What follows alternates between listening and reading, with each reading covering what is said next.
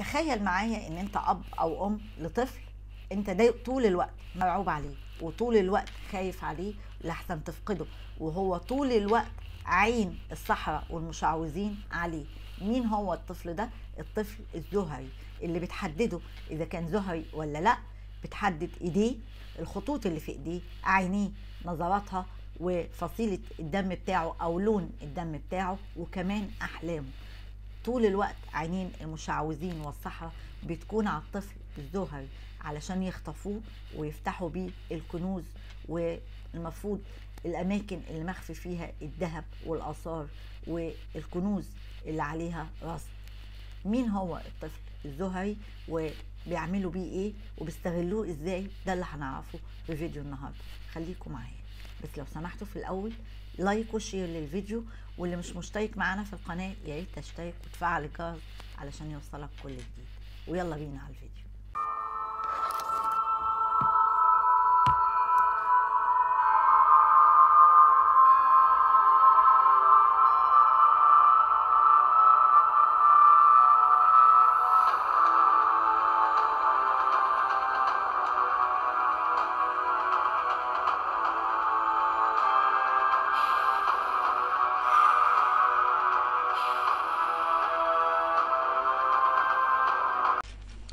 مساء الخير. النهارده هنتكلم زي ما قلنا في بداية الفيديو عن الأطفال الزهريين.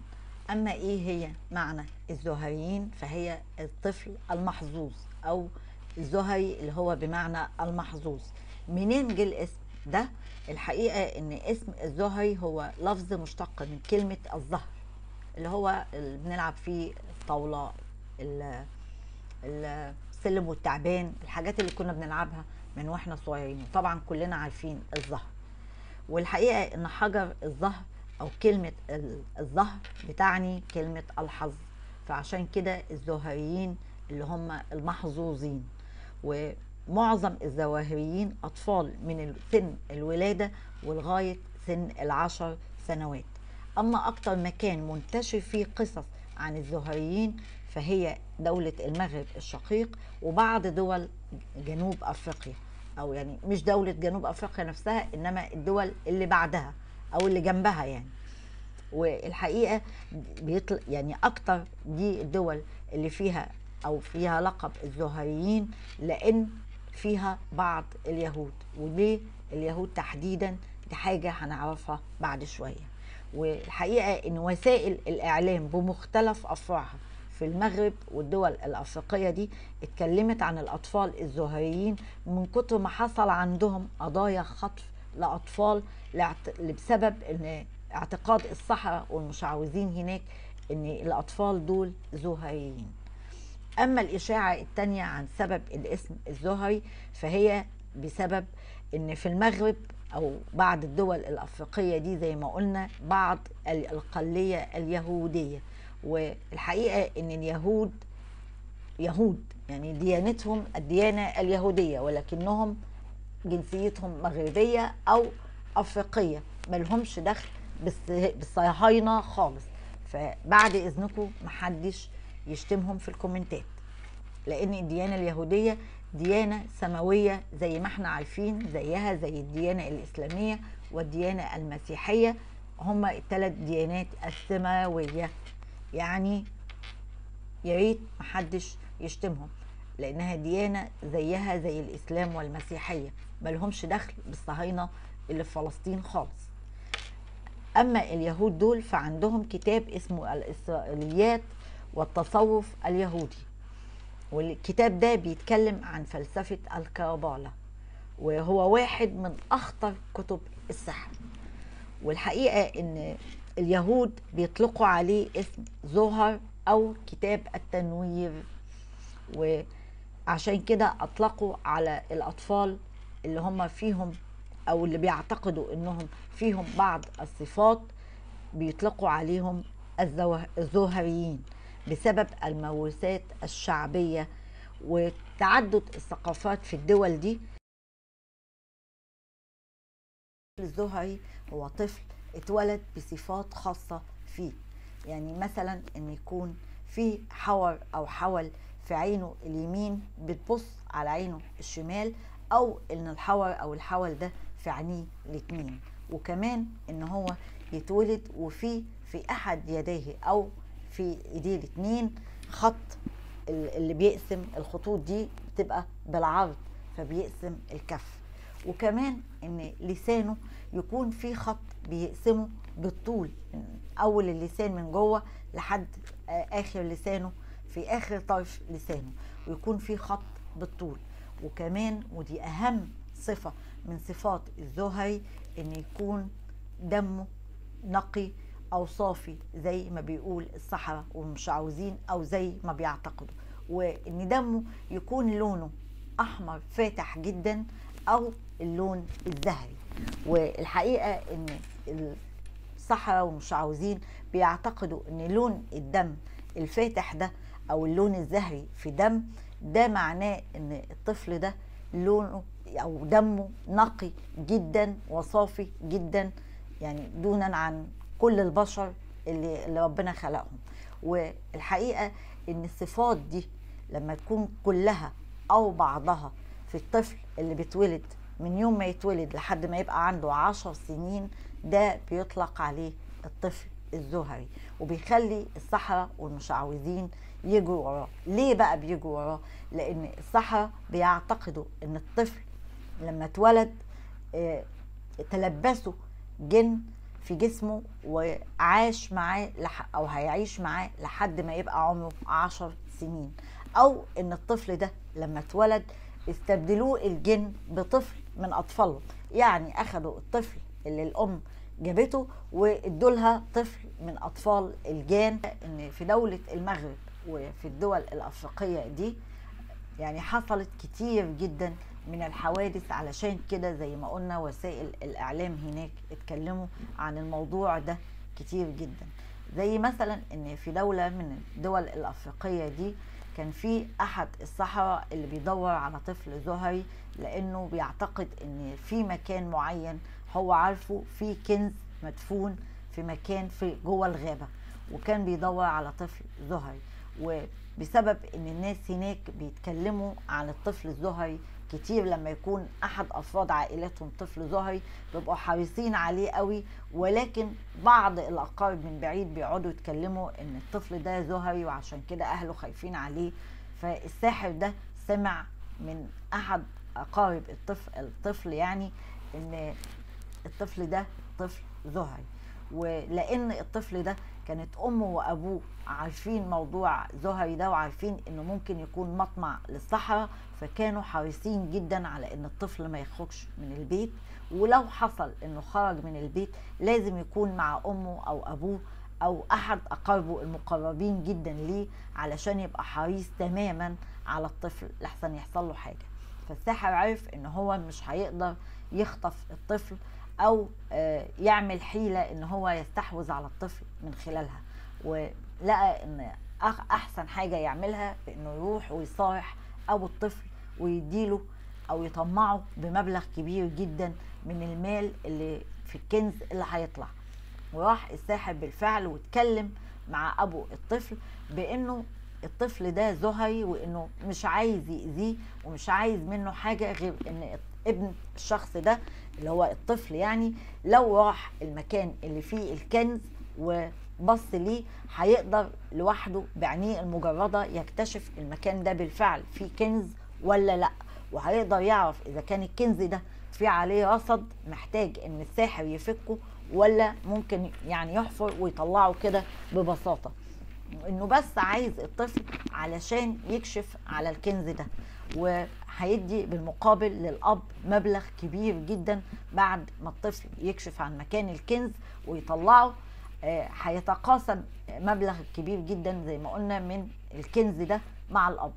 فلقله حيلة الأب ولأنه كان يعني شخص ماديا متواضع جدا وعنده أطفال كتير غير الطفل ده طمع في إنه فعلا مش هيتأذي ابنه ولكن ممكن يحصل هو وابنه على مبلغ كبير جدا من المال يصرف منه على عيلته. وبالتالي راح الأب وأخد ابنه وراحوا مع الساحر على الغابة على أساس إن بس ابنه هيكشف على المكان يشوف إذا كان الكنز موجود ولا لأ. وفي الطريق وبعد ما مشوا المسافة مش قصيرة قعد الأب والابن ومعاهم الساحر علشان يتناولوا بعض الطعام ويستريحوا شوية من المشوار. وما كان من الساحر غير إنه إدى الطعام للأب على أساس إن هو يأكله وقال له إن الطفل مش المفروض ياكل علشان يعني يبقى خفيف ويقدر يكشف على الكنز بسهولة فمش هيقدروا يأكلوه معاهم. وبالطبع أكعد آه الأب تحت شجرة وقعد ياكل. لكن بعد عدة ساعات فاق الأب ولقى نفسه إنه هو بعد ما أكل أغمى عليه أو يعني اتبنج أو اتخدر بسبب الحاجات اللي كانت في الأكل وحاططها الساحر طبعا وإن هو نايم تحت الشجرة ومن الواضح إن بقاله عدة ساعات. فلما قام وقعد يدور على الساحر وعلى ابنه ما لقاهمش وكانوا اختفوا من من حواليه من وقت طويل طبعا لأنه كان نايم. وراح الأب وبلغ الشرطة وحكى لهم على اللي حصل معاه وعن إن الساحر أقنعه بإنه مش هيأذي ابنه وإن ابنه بس هيكشف له على مكان الكنز. ولما قعدت تدور الشرطة والأب لعدة أيام في الغابة ما لقوش أي أثر لا للساحر ولا للطفل. ولكن على مسافة بعيدة جدا وبعد أسبوع تقريبا وهم بيدوروا لقوا إن الطفل يعني الساحر قضى عليه وأخد جزء كبير جدا من من من دمه يعني على أساس إنه يفتح بيه الكنز بتاعه أو الرصد بتاع الكنز وإنه في على مقربة من الطفل حفرة عميقة جدا وواضح إن الساحر كان بيحفر علشان يدور على الكنز في المكان ده. والله أعلم طبعا إذا كان لقى الكنز فعلا ولا لأ لأن أكيد دي كلها خرافات واختفى الساحر. والحقيقة إن في عدة حوادث كبيرة جدا في البلد دي والبلاد اللي حواليها الأفريقية بسبب الموضوع ده. أما بالنسبة للمغرب فالحقيقة إن هناك الحوادث بالنسبة لخطف الأطفال وقتلهم بسبب إنهم ممكن يكونوا أطفال زهريين فهي عددها كبير جدا لدرجة إن زي ما قلنا في بداية الفيديو الشرطة والإعلام بكل فروعه اتكلموا في الموضوع ده كتير جدا.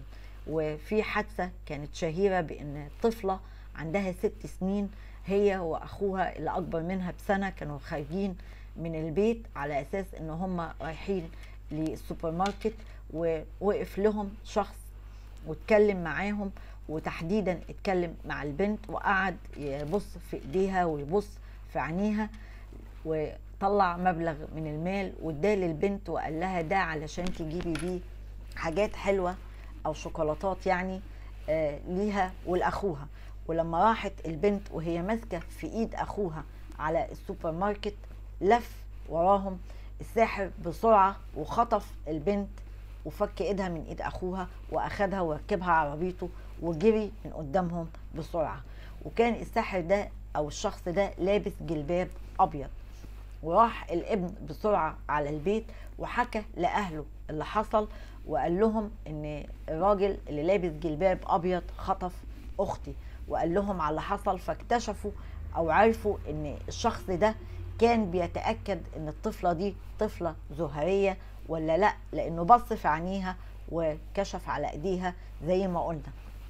والحقيقة إن بعد أيام كتير تقريبا 40 يوم وهم بيدوروا أهلها والشرطة اكتشفوا إن البنت كانت قضى عليها الساحر ده ورمى جثتها في مكان يعني على بعد عدة كيلومترات من بيت أهلها ولما لقوها لقوا هدومها ولقوا بعض من عظامها وراسها وراحوا وأخدوا أمها علشان تشوف الطفلة وبالفعل الأم اتعرفت إن دي بنتها اللي كانت بتدور عليها والحقيقة إن تعرف في الوقت ده إن الطفلة دي اتخطفت لأنها كانت طفلة زهرية وإن الساحر أخدها علشان يفتح بيها رصد للكنز.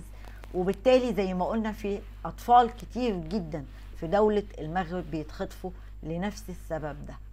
الحقيقة إنها عادة أو تقليعة أخدوها الصحراء والمشعوذين معرفش جابوها منين ولكنها عادة من أسوأ العادات وكارثة بالنسبة للأطفال اللي بيقضي عليهم بدون أي ذنب ولأهاليهم اللي بيفقدوا أطفالهم بدون أي سبب وبدون أي ذنب لمجرد اعتقاد عند ناس متخلفين إن هم أطفال زهريين وإن هم ممكن يكونوا من أطفال الجن ويفتحوا لهم الكنوز. وطبعا دي عادة أو يعني حاجة سيئة جدا وحاجة ملهاش أساس لأنها يعني من الموسات الشعبية اللي الحقيقة لا أصل ليها ولا ليها دين ولا ليها آه يعني عرف لأن إن طفل بريء يتخطف ونقضي عليه بسبب إن هو أو إن إحنا معتقدين إن هو طفل من الأطفال الزهريين. ده كان الفيديو بتاعنا النهارده. اللي أتمنى إن يكون عجبكم وإن أنتوا تعملوا للفيديو لايك و share. واللي مش مشترك معانا في القناة. يا ريت يشترك ويفعل الجرس علشان يوصله كل جديد. ميرسي ليكم وأشوفكم في فيديو جديد. bye bye.